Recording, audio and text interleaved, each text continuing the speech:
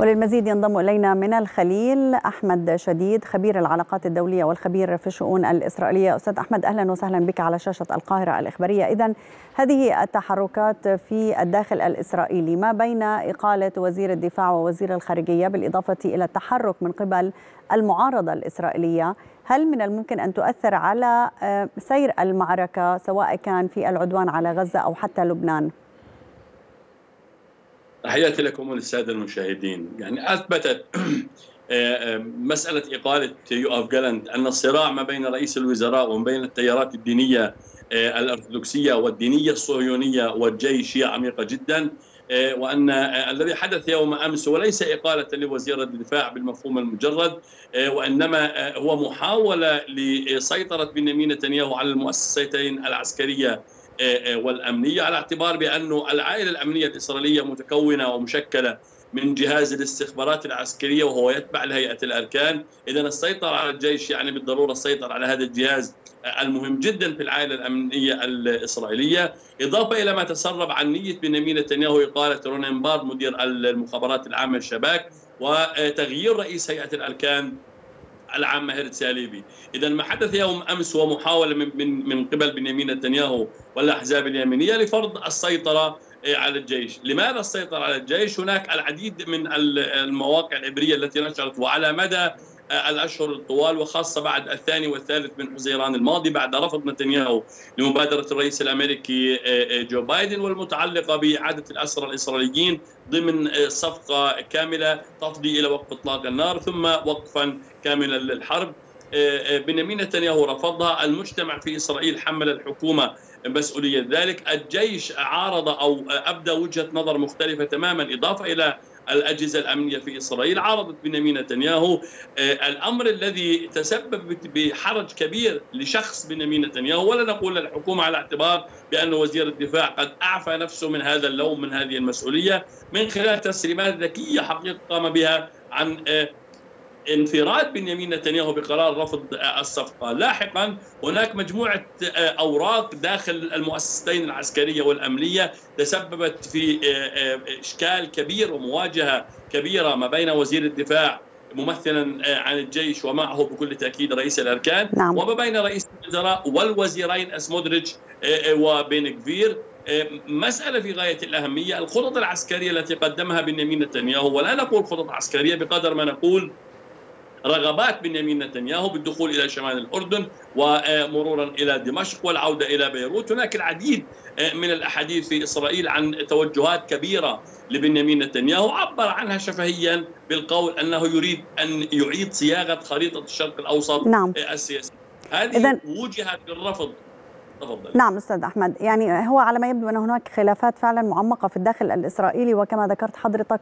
ولكن أيضا اليوم كان هناك استهدافات هي الأكبر منذ العدوان على لبنان من قبل حزب الله على مستوطنات الشمال واستهداف أيضا مطار بن غوريون وإخراجه عن الخدمة.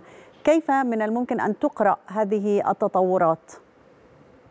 يعني دعينا نذهب إلى خطاب السيد نعيم قاسم الأمين العام الجديد لحزب الله اليوم والذي أرسى قواعد اشتباك جديدة منها اولا استيعاب ما يحدث على الحدود ومواجهة المحاولات الإسرائيلية للتوغل. والمسألة الثانية وقد قالها بصراحة أننا ذاهبون إلى تكثيف القصف والضربات الجوية في العمق الإسرائيلي من أجل ردع الاحتلال الإسرائيلي. جاء هذا هذه الكلمة وهذا الخطاب بعد ساعات قليلة على رشقة صاروخية كبيرة طالت تل أبيب ومطار بن غريون مطار الدوي والعديد من الأمكنة الأخرى في إسرائيل، هذا أعتبر بمثابة وضع استراتيجية جديدة تنفي أو تلغي الاستراتيجية السابقة التي نهجها حزب الله والتي كانت قائمة على مبدأ الصبر الاستراتيجي واستيعاب الضربات اعتمادا على قاعدة بأنه هذه الجبهة جبهة مساندة. ولكن اليوم الأمين العام لحزب الله السيد نعيم قاسم قالها بصراحة نحن نتعرض لحرب أو لعدوان إسرائيلي وحرب واسعة منذ أكثر من شهر وعلينا التعامل وفق قواعد الاشتباك. نحن لا نلجا إلى أو لا نركن إلى السياسة أو الدبلوماسية الميدان فقط هو الذي سيحدد. واردف قائلا أن الوسط الإسرائيلي سيعاني وصولا إلى ضغط المستوطنين على حكومتهم، اذا اليوم إسرائيل في حالة جديدة حقيقة من قواعد الاشتباك، أنا أتوقع أن الحزب سيضاعف وإن كانت بأعداد متواضعة سيضاعف قصفه لتل أبيب وإلى ما بعد تل أبيب إلى معظم المدن الفلسطينية المحتلة، شاهدنا قبل قليل أن بعض المسيرات وصلت إلى مستوطنات شمال الضفة الغربية على الحدود الأردنية، هذا يمكن وضعه في إطار تطبيق الاستراتيجية الجديدة التي يرساها حزب الله والتي عبر عنها اليوم أمينه العام والقائمة على إيلام الإسرائيلي بالجبهة نعم. الداخلية. بما يتعلق بالحدود اللبنانية الفلسطينية هنا أكد الأمين العام مسألة في غاية الأهمية وهي أن الاحتلال الإسرائيلي ما زال يراوغ مكانه ويراوح مكانه ويراوغ بمحاولة منه للتقدم ولكن ولكن سي... أستاذ أحمد الان الآن هناك عاجل من هيئة البث الإسرائيلية تقول بأن الجيش يبحث إمكانية إعلان انتهاء العملية البرية جنوب لبنان. نعم هذا يعني جيد أن هذا الخبر العاجل أتى الآن.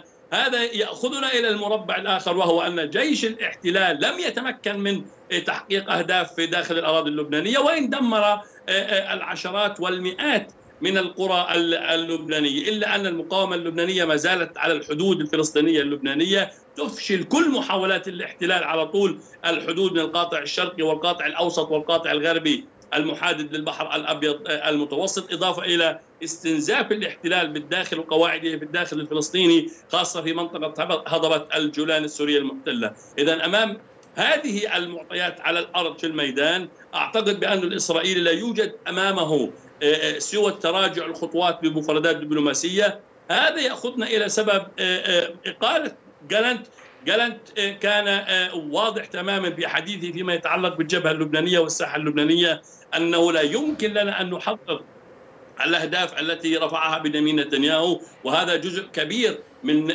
سعي بنيامين نتنياهو وصولا إلى اتخاذه القرار الذي مهد له من خلال إحضار إعادة جدعون ساعر إلى الوزارة إلى الحكومة من أجل زيادة أعضاء الكنيست وتثبيت وتدعيم الجبهة الداخلية خاصة لحزب الليكود الذي ينتمي إليه جانتس.